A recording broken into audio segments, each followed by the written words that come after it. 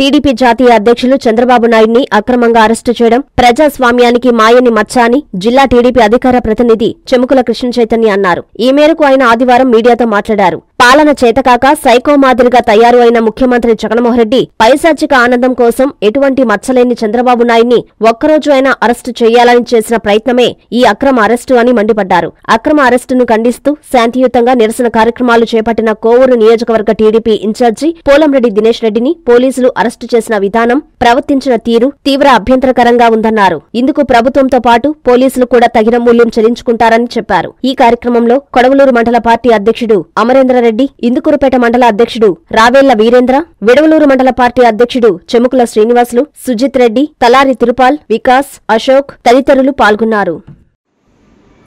నమస్కారం. దేశ చరిత్రలో రాజ్యాంగానికి ఒక మాయను మచ్చ ఏర్పడిన రోజు.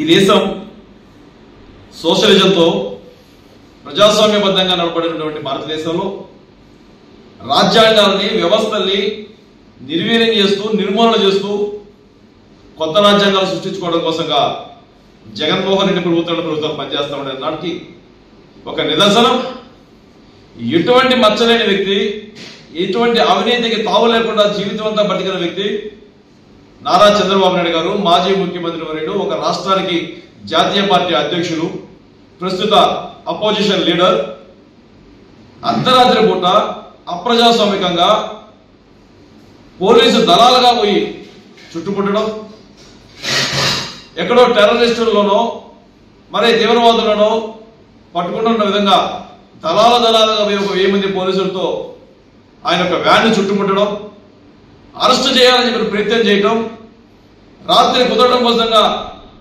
ఎన్ఎస్సీ కమాండోస్ ఒప్పుకోకపోతే ఉదయాన్నే అరెస్ట్ చేయడం కోసం పోయి ఆరున్నర ఆరు గంటల సమయంలో అరెస్ట్ చేస్తారు. నిజంగా ఈ దేశంలో ప్రజాస్వామ్యం ఉందని అడుగుతా ఉన్నాం. ఈ రాష్ట్రంలో ప్రజాస్వామ్యం కొనసాగుతుందని అడుగుతా ఉన్నాం. ముఖ్యమంత్రి జరుగుతున్న పరిణామాలని పరిశీలించుకోవాల్సిన అవసరం ముఖ్యమంత్రికి ఉందని అడుగుతా ఉన్నాం.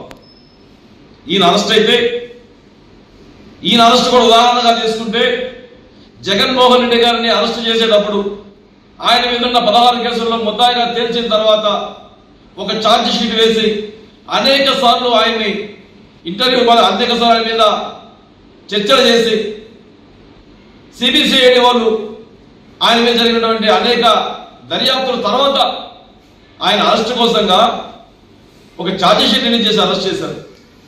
ఎందుకు అరెస్ట్ చేస్తున్నావో చెప్పి మరి అరెస్ట్ చేశారు. ఆ అరెస్టులో ఆ కేసుల్లో నుంచి కనీసం మినిమం దానికి సంబంధించినటువంటి ఏ ఒక్క చిన్న నిరాధారమైనటువంటి ఆధారాలని నిరూపించుకోలేక జగన్మోహన్ రెడ్డి పదహారు నెలలు జైల్లో కూర్చున్నాడు.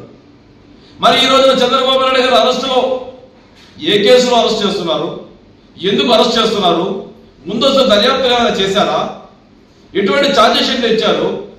ఏమీ లేకుండా కూడా ఈ రోజున కేవలం ఒక నోటీస్ తీసుకొచ్చి ఇచ్చి చంద్రబాబు నాయుడు గారిని రిమాండ్ తీసుకుపోతామని చెప్పారు. ఎంత దుర్భాగ్యమైన అంశం. దీన్ని తెలుగుదేశం పార్టీ తీవ్రంగా ఖండిస్తా ఉంది. తెలుగుదేశం పార్టీ జాతీయ అధ్యక్షుడిగానో మాజీ ముఖ్యమంత్రి వారిగానో అపోజిషన్ లీడర్ మీదనో జరిగిన దాడిగా దీన్ని చూడాల్సిన పని కాదు. ఇది ఖచ్చితంగా ఈ దేశ రాజ్యాంగం మీద జరిగిన దాడి ఈ దేశ ప్రజాస్వామ్యం మీద జరిగిన దాడి ఈ దేశ ప్రజల యొక్క వ్యవస్థ మీద జరిగిన దాడిగా మనం చిత్రీకరించి చూడాలి. జగన్మోహన్ రెడ్డి యొక్క పైశాచికత్వానికి ఇది నిదర్శనంగా చూడాలి.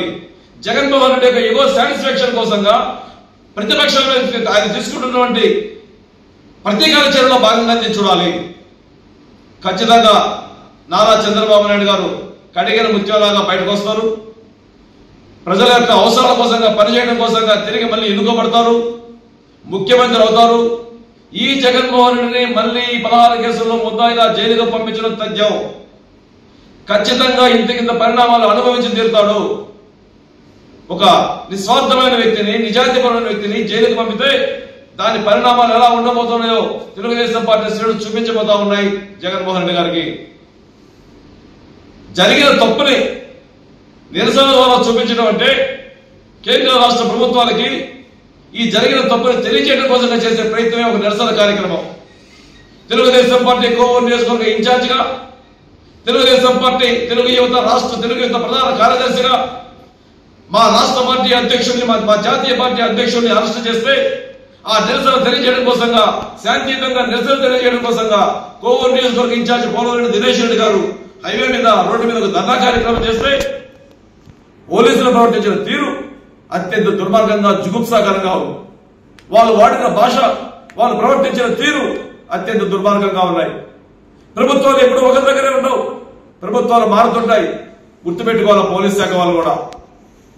దినేష్ రెడ్డి గారి మీద పోలీసులు చేసినటువంటి దురుసుతనాన్ని జుగుప్సాకర విషయాన్ని పూర్తిగా ఖండిస్తూ దినేష్ రెడ్డి గారి అండదండలతో పూర్తి స్థాయిలో ఆయన వెనక మేము నడవడానికి సిద్ధంగా ఉన్నాం. బాబు గారిని విడుదల చేసేంత వరకు బేషరతుగా బాబు గారిని విడుదల చేసేంత వరకు కోవూరు నియోజకవర్గ తెలుగుదేశం పార్టీ తెలుగుదేశం పార్టీ ఇన్ఛార్జ్గా పోలరెడ్డి దినేష్ రెడ్డి గారు తీసుకున్నటువంటి ఏ నిర్ణయాల్లోనైనా ఏ నిరసన కార్యక్రమాలైనా తెలుగుదేశం పార్టీ మొత్తం ఇంటి నడుస్తూ తెలియజేస్తూ జరిగిన పరిణామాల్ని పూర్తిగా ఖండిస్తా ఉన్నాం. మండల తెలుగుదేశం పార్టీ నుంచి. వైద్యుడిని దేవుడితో సమానంగా కొలిచే దేశం మనది. అలాంటి వైద్యులనే సృష్టించే విధాత నారాయణ. కేవలం నీట్ రెండు వేల ఇరవై రెండులోనే పదిహేను వందలకు పైగా డాక్టర్స్ని దేశానికందించిన ఘనత ఒక్క నారాయణదే. నీట్ అంటే నారాయణ నారాయణ అంటే డాక్టర్లను సృష్టించే విధాత. నీట్ లాంగ్ టర్మ్ అడ్మిషన్ల కొరకు సంప్రదించండి. క్లాసులు ఐదు ఆరు రెండు వేల ఇరవై మూడు నుండి ప్రారంభం. Phone one eight double zero one zero two double three double four.